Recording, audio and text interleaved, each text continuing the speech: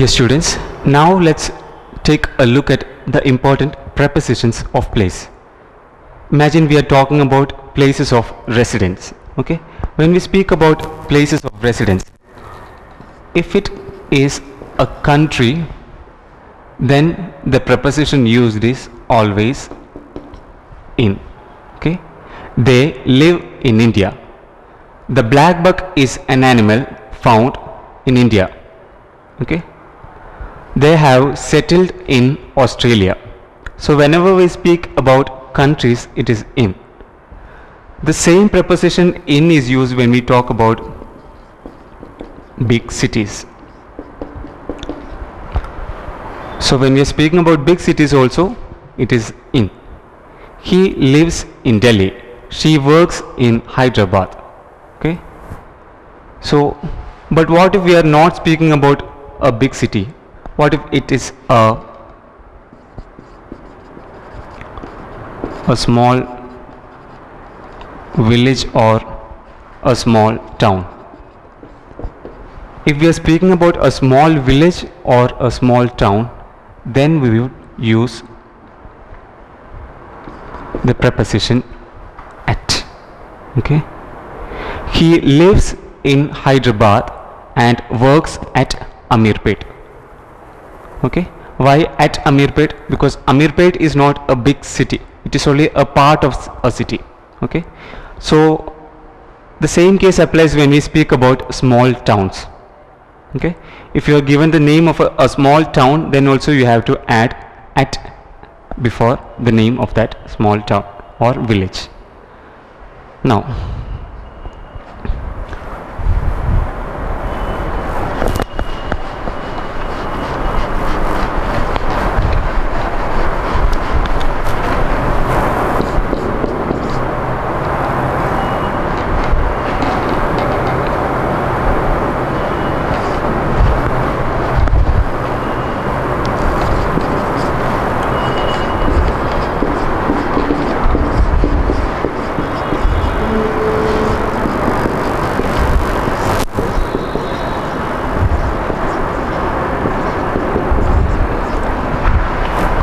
he has gone to spend time dash the seaside.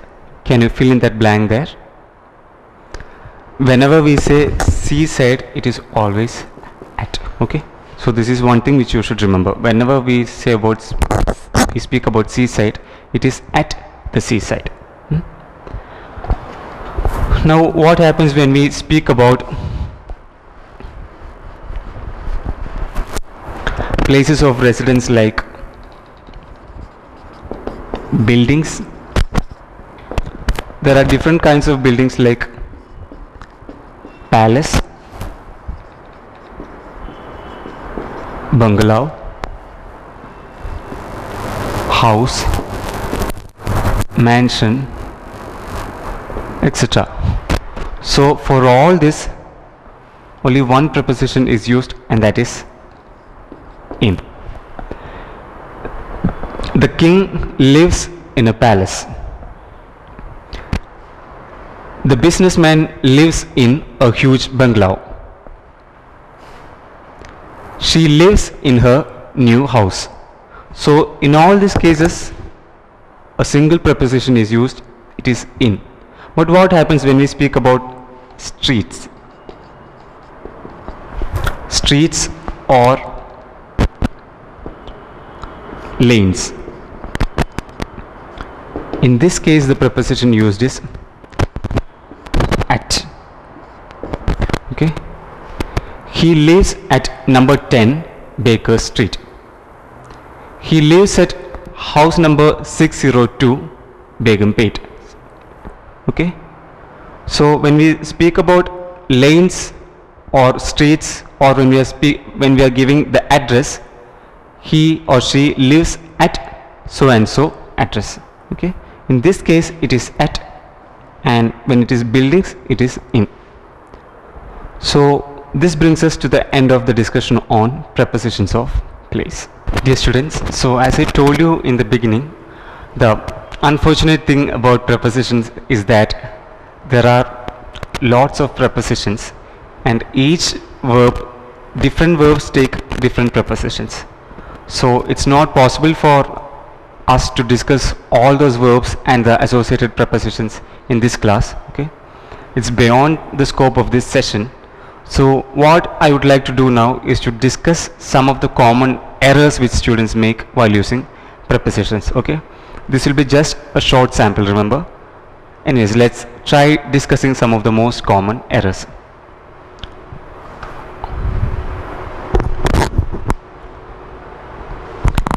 Here we have before us 15 sentences and each sentence contains an error in the usage of preposition. So let's find out what those errors are. Look at the first sentence. We should not let terrorists attack against our country. Okay. Here the error is in the preposition against because the verb attack is not followed by any preposition. So this preposition against is unnecessary here.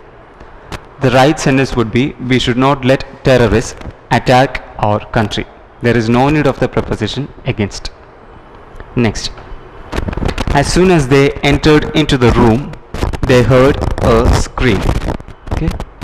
So here the problem is again with the preposition into which is unnecessary okay? Enter can be followed by into but in a different context. You can say that India entered into a treaty with Pakistan. So when you speak about agreements treaties etc then entered can be followed by into. But when you enter a place then into is unnecessary. When you're speaking about a place a room or a building or any other place then we say entered a particular place. There is no need of into. So to correct this sentence we have to remove into and say as soon as they entered the room they heard a scream. Next one. He informed to the police about the robbery. Here what is unnecessary is the preposition to. You don't inform something to someone you simply inform someone okay? The right way is to say he informed the police about the robbery. So to is unnecessary. Next the animal resembled to a cat. This is same error. Here we have the same error which was there in the previous question something resembles something else. They don't resemble to anything. So the right way is to say the animal resembles a cat.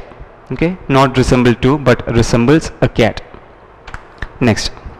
She accused me for cheating her. Okay?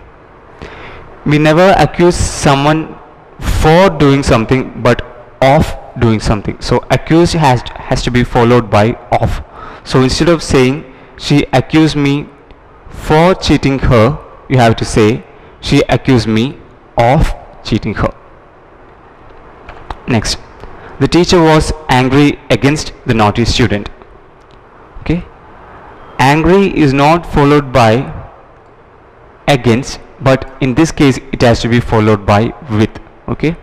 You are angry with someone and or you can say angry about something but never against. Okay? So in order to correct this sentence we say the teacher was angry with the naughty student. Next the medicine will cure you from cough. Okay? This is one of the most common errors made. So a medicine does not cure you from a disease but of a disease. So here we have to correct this sentence by saying the medicine will cure you of cough next we have two sentences. I put them together because the error is associated. The, the error is similar in them. Bread is made of wheat. The dress is made from cotton. Okay? So if you take a cursory look at these sentences you won't find any error. These sentences look fine right? But the error is that when a substance is converted when we do something to a substance so that it becomes an entirely new new substance then the preposition we have to use is from okay? When we make bread from wheat is bread the same as wheat? No bread is something new right? It is completely different from wheat. So in that case we'll have to say bread is made from wheat. But look at the second sentence. The dress is made from cotton. So the dress is made entirely of cotton right? What we are doing we are just changing the form of cotton. Are we creating a new substance? No we are not. We are making the dress by weaving cotton right? So we cannot say that exactly that a new substance is formed. We are just changing the form of cotton. So in that case we use of and not from. So in order to correct this sentence we have to say the dress is made of cotton okay next. The little boy was pleased from his new bicycle. Okay? Here we are trying to say that the little boy was happy about his bicycle. In that case instead of using from the right preposition to be used is with. The little boy was pleased with his new bicycle which means the little boy was happy about his new bicycle. Now I prefer coffee than tea. This error we have already discussed in another session okay? So when we say prefer instead of using than we have to say to okay? I prefer coffee to tea okay? Not than but to. I prefer coffee to so to tea. Next. It was Sam who told to me about the incident can you tell me what the error is? The error is this is that told is not followed by to okay?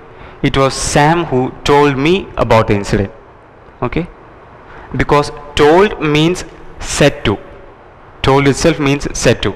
So when you add another to to it then one to is extra. It's unnecessary. So told alone will do. No need to say told to a beautiful lady was sitting in the help desk to help visitors okay? You must have seen that we have information counters and there people will be sitting. So they don't sit in the desk. In the in the desk meaning would mean they are sitting inside the desk. So we know that is not the case. They sit at the desk okay? So a beautiful lady was sitting at the help desk and not in the help desk. His advice was helpful for me can you tell me what the error is? Yes. The error is obviously we know in the preposition for but but what exactly is the error? The error is that yes. We never say helpful for we say helpful to okay? His advice was helpful to me and not for me it is to me. His advice was helpful to me. Next I do not have the courage to compete against such an experienced player. Okay?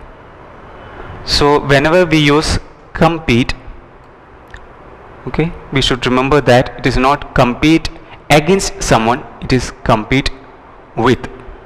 Okay? We we might tend to think that because a competition is happening one person is against another person right? That is the way our, our thought process goes. But in this case it's wrong when we use compete the preposition preposition which goes along with compete is not against but with. Finally he always listens music before going to bed. Here we have omitted a preposition okay? We don't listen music but listens to music okay? What is omitted there is to so we listen to music and not listen music. All right